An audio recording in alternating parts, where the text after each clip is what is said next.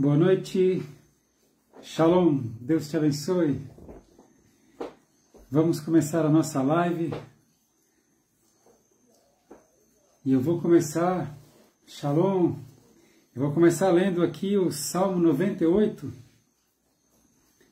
a partir do verso 4. Amém? Salmo 98, 4. Vamos já degustar a palavra do Senhor. Celebrai com júbilo ao Senhor todos os moradores da terra. Dai brado de alegria, regozijai-vos e cantai louvores. Cantai louvores ao Senhor com a harpa, com a harpa e a voz do canto, com trombetas e som de buzinas, o chofar. Exultai perante a face do Senhor, do Rei. Brame o mar e a sua plenitude, os rios batam palmas, regozije-se também as montanhas. Os rios batam palmas perante a face do Senhor, porque vem a julgar a terra. Com justiça julgará o mundo e o povo com equidade. Aleluia. O nosso Deus é o soberano, é o Criador, Ele é o Todo-Poderoso. Deve ser louvado, deve ser celebrado com júbilo. E Ele vai julgar a terra. Aleluia por isso. Bem-vindos. Shalom. Glória a Deus, povo do Senhor. Hoje nós vamos estar falando sobre é, livre-se da mágoa. É um assunto bem importante, bem atual, né? Livre-se da mágoa. Estão todos aí? Olha, Vem chegando o ano novo, graças a Deus, né? E geralmente nessa época, é, muitos têm o costume de fazer planos, isso é bom, é produtivo, né? Fazer planos para o novo ano. Esse ano eu vou, vou cuidar da minha saúde, esse ano eu vou, vou aprender um idioma, vou organizar minha casa, vou arrumar minha vida.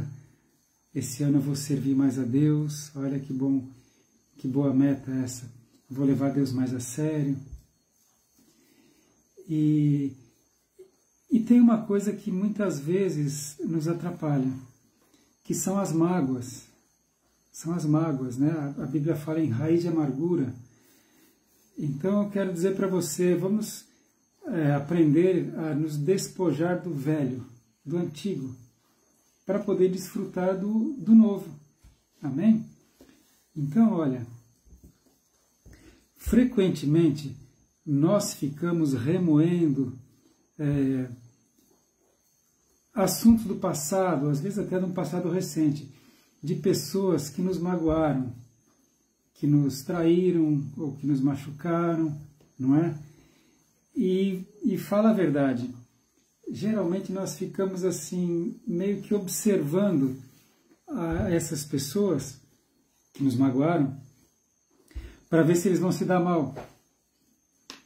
Se a vida vai, é, vai dar o troco pelo que eles fizeram conosco, se eles vão mudar ou não vão mudar de opinião pelo aquilo que fizeram, se vão reconhecer os seus erros ou não, se vão pedir desculpas ou perdão ou não para a gente, a gente, sem querer, fica meio ligado a essas pessoas, a gente fica meio observando, ainda que de longe, uma certa curiosidade, às vezes até mórbida, de como é que será que ele está, hein? Me fez tanto mal, como é que ele, será que essa pessoa está?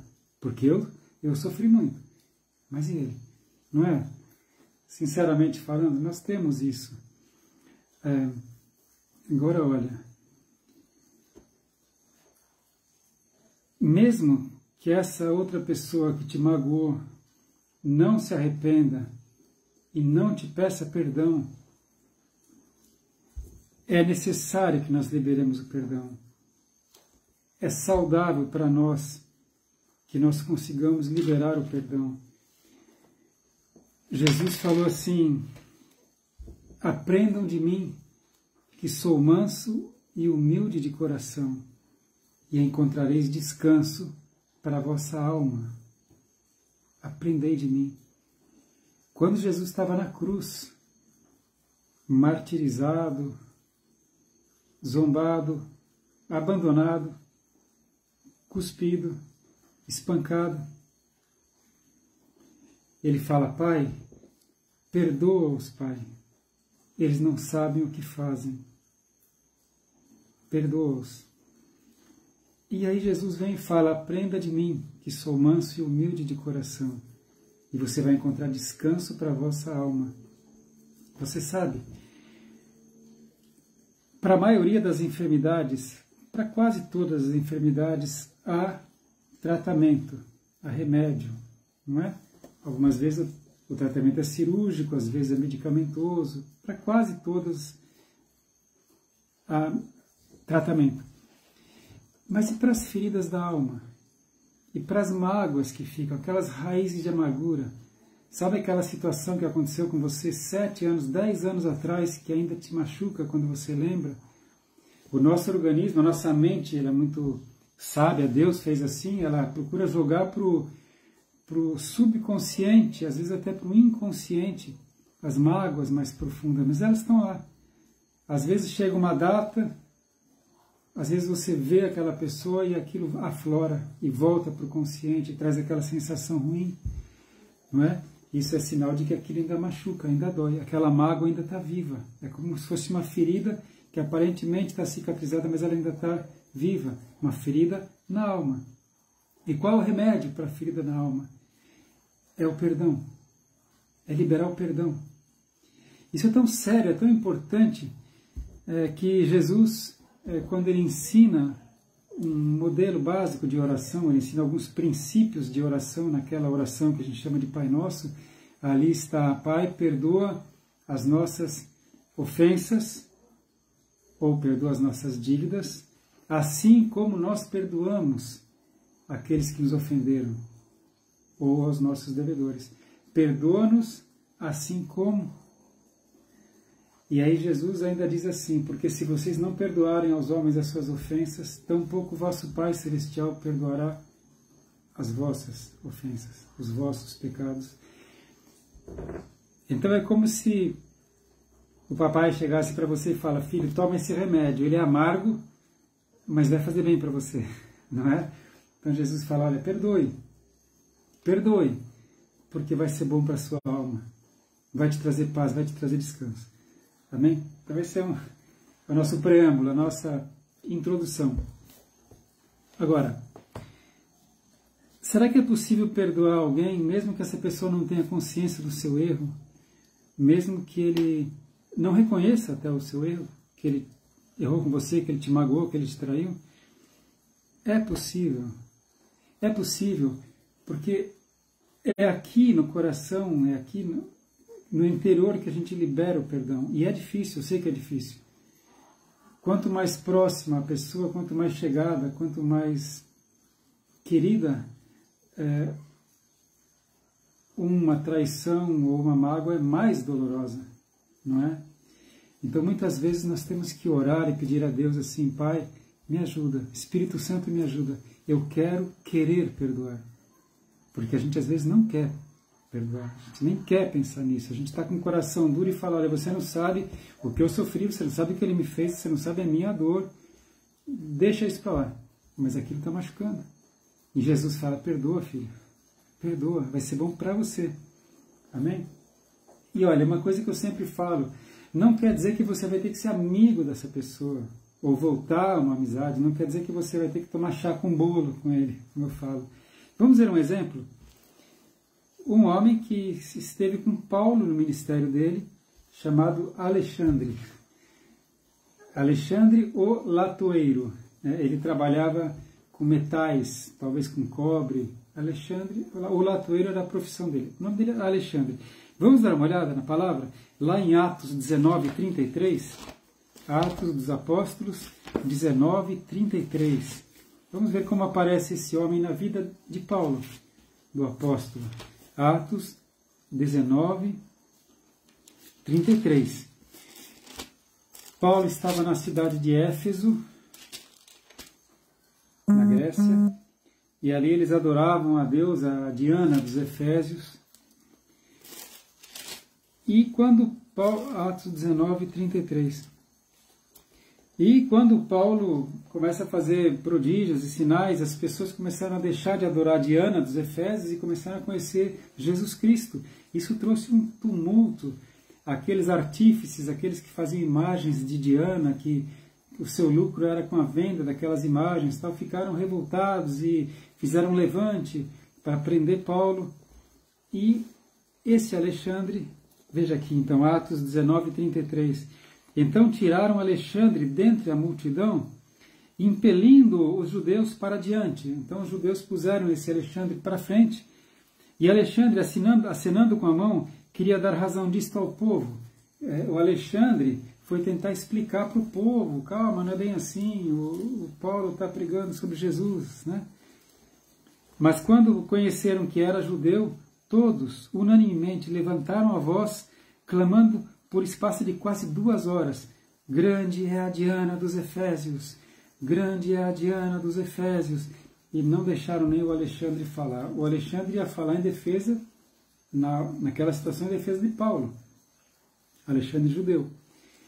Mais tarde, olha o que Paulo fala a respeito desse Alexandre. Vamos dar uma olhada em, em 2 Timóteo 4,14. 2 Timóteo 4,14. Eu vou ler o 14 e o 15. 2 Timóteo 4,14. Amém? Ele diz assim, escrevendo para Timóteo, seu discípulo: Alexandre, o latoeiro, causou-me muitos males. Aquele Alexandre, Paulo fala, causou-me muitos males. O Senhor lhe pague segundo as suas obras. Então, Paulo não está desejando o mal dele, Paulo não está rogando praga nem maldição, mas Paulo fala: O Senhor lhe julgue pelas suas obras. Tu, Timóteo, guarda-te também dele, cuidado com ele, porque resistiu muito às nossas palavras. O Alexandre ele, ele não acreditava no Evangelho de Jesus Cristo, ele pregava contra, ele falava contra as palavras. Então Paulo pregava e o Alexandre confundia. Então o Paulo fala, Timóteo, cuidado com ele. Ele me causou muitos males, ele está indo contra a gente, cuidado com ele. Percebe? Alguém fez mal para Paulo, Paulo está avisando o seu discípulo, cuidado com ele. Não seja amigo dele, não ande com ele, não vai tomar chá com bolo com ele. Mas Paulo não está desejando o mal dele, fala, o Senhor o julgue. Amém? Eu só citei essa situação para o seguinte, às vezes tem pessoas, shalom, Irmão Adolfo Cabello, do Chile, Deus te abençoe, Deus abençoe sua família. Adolfo, que saudades, viu? Deus abençoe muito vocês. Deus abençoe. Perdão, irmãos, tantos irmãos queridos que estão entrando aí, a Meire Barbie, e eu nem falei, me perdoem. É uma honra estar com vocês, viu? Shalom, povo de Deus. Amém. Mas então, é, voltando para o nosso ponto, é importante que você se livre das mágoas. Como? O único jeito é liberando perdão. E não quer dizer que você vai ter que reatar uma sociedade ou uma amizade. Não é isso. Entende? Isso é importante. A gente vê no caso aqui de Paulo. Agora, olha, nós precisamos crescer espiritualmente para alcançar um coração perdoador, para poder discernir essas coisas. Porque a nossa tendência carnal, a nossa tendência humana é não perdoo, não quero saber, não aceito, não me fale dele. Não é assim? A gente tem que crescer espiritualmente. Por isso Jesus falou: aprenda de mim, que sou manso e humilde de coração, e você vai encontrar descanso para a vossa alma. Deus quer dar para você descanso. Você vai passar o ano para o ano novo em paz, livre das mágoas. Amém? Amém? Quer dizer assim seja. Vou colocar três situações bem rápidas e objetivas. Primeiro, se a pessoa que te magoou for da nossa família, for da sua família, o que fazer? Já pensou? Uma pessoa que me magoa da minha família, família de sangue. Eu não vou desfazer relacionamentos familiares por, por divergências. A gente tem visto, infelizmente, tristemente, que tem até famílias é, brigando feio por causa de política. Você acha justo? Família. Né? Então, a gente tem que procurar desenvolver a tolerância, a tolerância, a paciência e o perdão. A Bíblia fala para a gente suportar uns aos outros em amor. E a palavra suportar, no caso, não é de aturar, é suportar de suporte, de ajudar a carregar, levar o fardo uns dos outros. Especialmente se é em família, na questão de família, tá? A gente deve procurar desenvolver tolerância, o perdão, a paciência. É, às vezes não dá mais, não dá para tocar naquele assunto que vai dar confusão.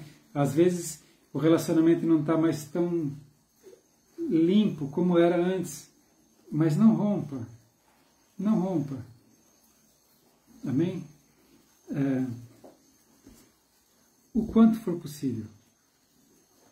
O quanto for possível. Ora, pede para Deus, mas sempre no que depender, Deus fala, no que depender de vós, tem de paz com todos os homens. Não liberar o perdão e procurar não deixar morrer a chama do amor. Amém? No caso de família. De família. Agora, se a pessoa que te magoou já morreu, o que fazer nesse, nessa situação? Você pode perdoar alguém que já morreu? Pode. Não é questão de, de, de, de falar com os mortos, orar pelos mortos, não é isso. É entre você e Deus. Fala, Pai, aquela situação que a pessoa X me fez me machuca e até hoje eu sinto mágoa, eu sinto dor. Pai, eu quero, em nome de Jesus, eu quero liberar perdão. Eu sei que essa pessoa teve as suas razões que eu não entendo, que eu não conheço, que eu não concordo, mas o Senhor sabe. E assim como Paulo falou, o Senhor julgue. Mas eu quero, Pai, no meu coração, eu quero liberar perdão para essa pessoa. Amém, Marilu. É isso mesmo. Isso. Todos somos diferentes, temos que respeitar a opinião dos outros. Amém? Quando a gente, a gente se vê face de, de uma enfermidade grave, de, de uma morte, de uma situação assim, de uma pessoa que vai partir para o exterior não vai voltar mais, daí a gente vê, meu Deus, quanto tempo eu perdi, por questões pequenas a gente brigou, não é? Então não vale a pena. Mas então, olha, veja só, é uma pessoa que já morreu, eu posso, eu devo liberar perdão, devo falar com Deus, Pai, eu quero no meu coração liberar perdão para essa pessoa. Me magoou profundamente, me machucou, eu trago marcas na alma, mas eu não quero mais carregar essa mágoa, eu não quero mais carregar esse peso. Em nome de Jesus, eu libero perdão para essa pessoa. Fala o nome da pessoa, tá bom? Isso é importante, mesmo que a pessoa já morreu é entre você e Deus. Tira esse peso, tira esse fardo do seu coração, libera o perdão. Não fica carregando como se fosse um saco de pedra. Amém? E a terceira situação não é de família, porque de família eu falei, você tem que ter toda a tolerância possível, toda a paciência possível, vai até o último momento possível para não romper, tá bom? Eh, se rebaixa, se humilha, pede perdão, continua o vínculo familiar. Como eu disse, às vezes não tão chegado, mas é família, né? Pessoa que já morreu, coloca diante de Deus e se esforça para realmente liberar perdão em oração com a ajuda do Espírito Santo. E a terceira e última situação que eu quero colocar para você é uma pessoa que está viva. A pessoa está viva, te machucou, te ofendeu, às vezes mora na mesma cidade até, e você de vez em quando vê, às vezes não mora na mesma cidade, mas você às vezes encontra na internet, você lembra e aí te dá aquela sensação ruim.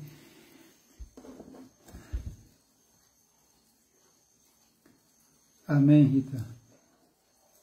É isso. A gente tem que querer liberar o perdão. Justamente, a gente está magoado porque isso traz mágoa mesmo. É esse é o problema. Isso é que machuca a gente. A gente tem que pedir para o Espírito Santo me ajuda, Pai, eu quero querer perdoar, eu quero querer perdoar, eu vou conseguir perdoar, eu vou perdoar, eu vou perdoar. Um dia você fala, consigo, eu vou liberar o perdão. Tendo aquilo em mente, não quer dizer que você vai ter que conviver de novo com a pessoa, não é isso. Amém? Mas olha, e aí eu vou ter que pedir perdão para a pessoa, se a pessoa está viva? Em princípio, sempre que, que você souber que tem alguém que tem alguma desavença com você, tem alguma questão não resolvida, a gente deve refletir, deve orar, deve procurar entender, entender os motivos da pessoa, porque a gente sempre vê o nosso lado, né? É óbvio. E, e se for o caso, se for possível, pedir perdão. Às vezes a pessoa não. Às vezes a pessoa que está errada até, entende? Às vezes você está errado, às vezes a pessoa está errada, às vezes os dois erraram. Se possível, orando, pedindo oportunidade, você vai e pede perdão para a pessoa. Pode ser que a pessoa aceite e se surpreenda. E você se surpreenda com a reação da pessoa. Uma coisa linda pode acontecer. Pode ser que a pessoa não aceite. Te receba com arrogância, te receba com agressividade. Mas você fez a sua parte. Eu, às vezes falo, tem situações que vale a pena você escrever uma carta. Hoje em dia nem escreve mais carta, né? Você mandar um e-mail, você mandar um, uma mensagem, mandar um WhatsApp, um texto, entende? Às vezes você manda um, um panetone com um cartão, junto com um pedido de desculpas ou de perdão, às vezes pessoalmente, às vezes por telefone. O importante é você trabalhar isso no seu coração e, e procurar uma oportunidade, amém? Para pedir perdão para a pessoa. Se ela perdoar, ótimo, maravilhoso. Se ela não perdoar, você fez a sua parte, o peso sai de você. E eu vou, vou citar dois, dois textos para a gente encerrar que são muito importantes. Os dois são palavras de Jesus. Vamos dar uma olhada em Mateus 5, 23? Mateus 5, 23 e 24. Isso é remédio para nossa alma, irmãos. A gente vai entrar 2023 leve, amém? Mateus 5, 23 e 24. Jesus falou assim: Olha, portanto, se trouxeres a tua oferta ao altar, na presença de Deus, e aí te lembrares que teu irmão tem alguma coisa contra ti, o teu irmão tem alguma coisa contra ti, deixa ali diante do altar a tua oferta e vai reconciliar-te primeiro com teu irmão. E depois vem e apresenta a tua oferta. Vai primeiro reconciliar com teu irmão e depois vem e apresenta a tua oferta. Então aqui é mais ou menos naquele sentido que Jesus fala, Pai, perdoa as nossas ofensas assim como nós perdoamos a quem nos tem ofendido. Viu? Isso é, é um remédio para a nossa alma. Na hora é desconfortável, mas depois você sente um alívio tão grande. Amém? E o outro texto, que eu acho que é o texto assim mais, mais contundente mesmo, muito forte, que está em João 20 e 23. Dá uma olhada, palavra de Jesus. João 20 e 23. É, João 20 e 23.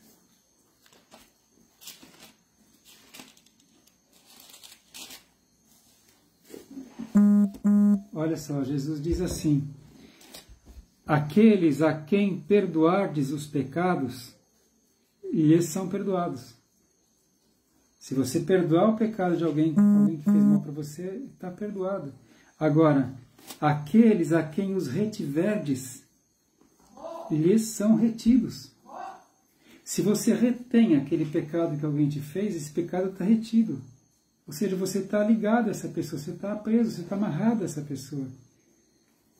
Sempre que vier uma imagem, uma memória, uma data, um aroma que te lembre daquela situação, daquela pessoa, você se sente mal. Você está ligado, retido, amarrado àquela pessoa.